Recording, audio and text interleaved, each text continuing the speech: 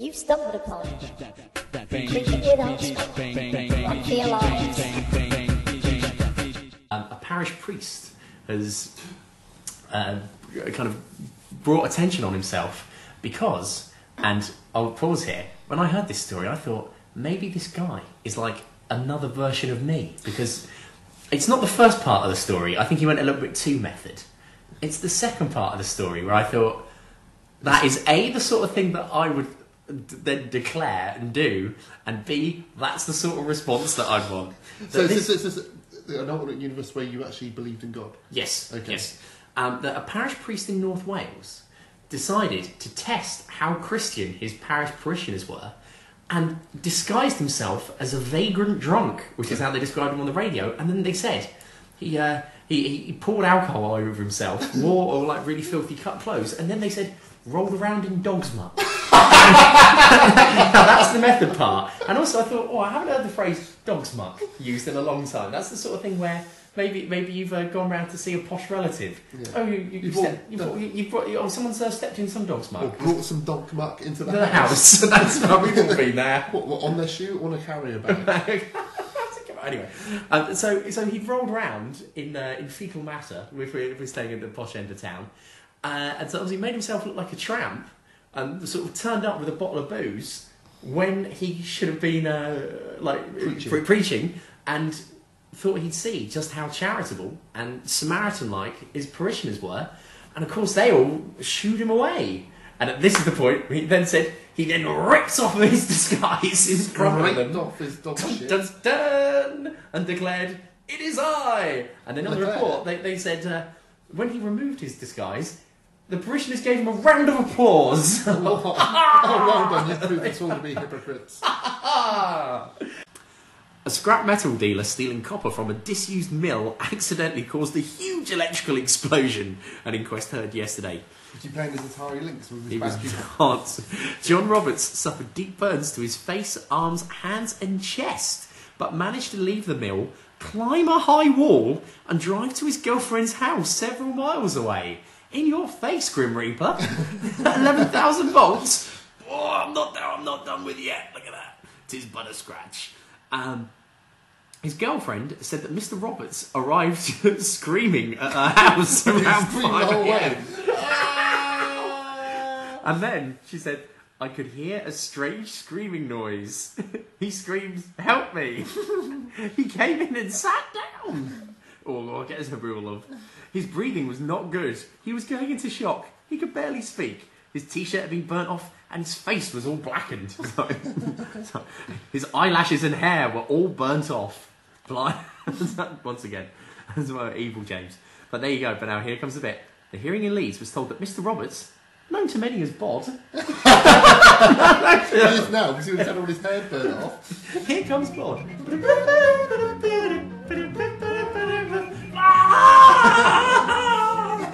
One of the one of the uh, few things which I I'm, I brought to the, the table today Yeah. is what something we was talking about last week, Yeah. and it was discussed on our Facebook group with people talking about sticker books. Oh, yeah. And um, I was just saying the only sticker book I ever managed to complete was the WWF sticker book, which is. It wasn't the World Wrestling Federation sticker book, it was the World Wildlife Fund sticker book. Um, and I don't know how I managed to do it because there was only one other boy in our school who was collecting who I could do swaps with. Sticker books felt so good when they were all full of yeah, stickers. yeah, lovely. The, the pages didn't turn Yeah, properly. very nice, heavy. Nice, yeah. and the good Both sides. Yeah, And- but I did I did complete the uh, Mexico '86 football Yeah. one, but it's only because I stuck um, South Korean stickers on all the all the squares at the end because I got so frustrated with it.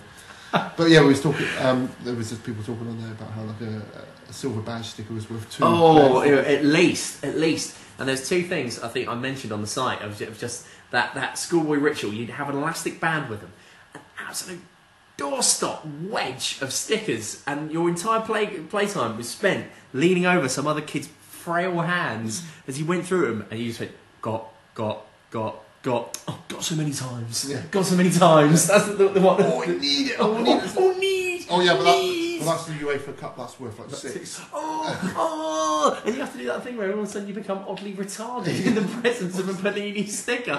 Oh, please, please, don't do anything, don't do anything. What have you got?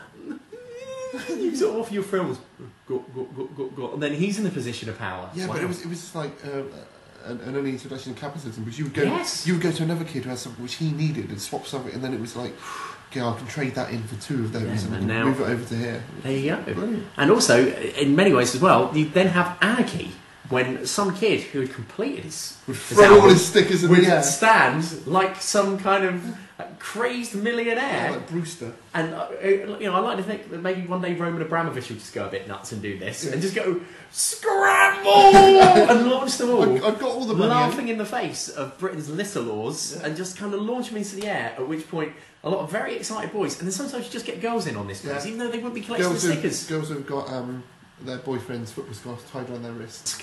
Me and my brother had the Action Man Jungle Attack um, audio adventure on cassette.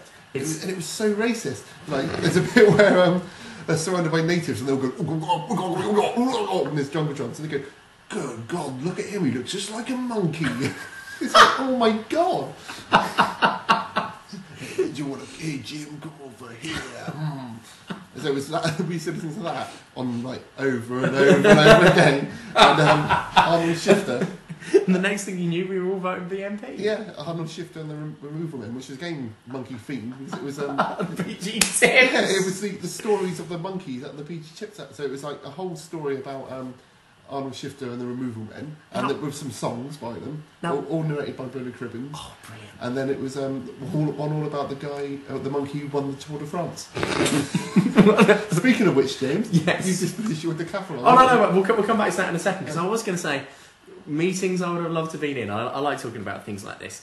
At which point in the, kind of like the early days, before kind of like the Saatchi brothers got involved in the 80s, when I'm sure advertising campaigns were a lot simpler and just featured people holding things up and shouting about them, buy this! You know, at which point did someone go, now, I'll tell you what, guys, there's a lot of tea out there on the market. And we can say it's flavoursome, we can say it's nice. We can say it's nice to have with a uh, first thing in the morning and nice to have at 11 o'clock. But I, I don't think people are going for that anymore. I'm just going to throw this one out there.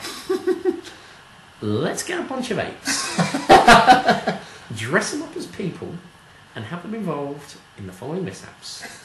Number one, moving, moving piano bout. Number two, James Bond. and number three, a bit of a, a romantic fricassee between a monkey with some lipstick on and another monkey who keeps sort of slapping his face uh, when the date goes wrong. Yeah. Oh, Yeah, sir! And then, you know, it works. It absolutely worked for yeah, years had and a hit single. what more do you need to say? But that's so that that's all good stuff. And before I go on to the other thing that I that you uh, just raised there, the other point is I said that a lot of this stuff has gone because of my absolutely mental mum. She's done two things to me in my life that have caused absolutely deep mental scarring in terms of being a geek and a, a completionist and things such as that. One of them was that um, uh, I was really trying to as you do when you're a teenager, I thought, right, what I'm going to do, I'm going to make myself as hard as bloody nails, and I'm going to start doing karate twice a week. Now, the thought of me doing karate twice a week is funny at the best of times. Yeah, You know, I still have baby soft hands, quite frankly. The notion of me smacking through a plank of wood or get somebody But else he, to he do does still often show how high he can do a kick to me. This, this is like, and then That's do, a really, then do a really mean face after he's done it. And then, then he like whip around really fast. I think that's right, yeah. I just did a really high kick. Stunned. Yeah. Block. I used to say that. Would block that. Uh, so I was doing all that, and of course, as you do, uh, my parents quite fairly, and I've, I've got to say this to them, said, "Well, if you want to do this, you're going to have to pay for this yourself." That's, of course, work shy as I still am to this day. The notion of getting up at six in the morning to do a paper round, that's for the birds. There's no way I'm getting out of bed at six in the morning for anybody. And then when I came home from university one time, I thought I'd just have a quick look upstairs in the loft, like the sticker albums. And, oh, well, you've done all this rubbish. Was him sitting upstairs taking up a lot of room. Oh, oh, some bloody Aladdin's cave up there. Oh, you know, there goes my childhood. The thing is, though, my brother has kept all of us. Oh, he seems uh, so lucky. Yeah, well, yeah, but it's a fire hazard, isn't it? it it's just so much. You've got so much in that loft, Adam. I know you're listening. You're probably the, one of the three people. People that are listening. Yeah. Yeah. Clear that loft out. Yes. I don't care that you're, you're now a two times father. Clear out that bloody loft. See you soon.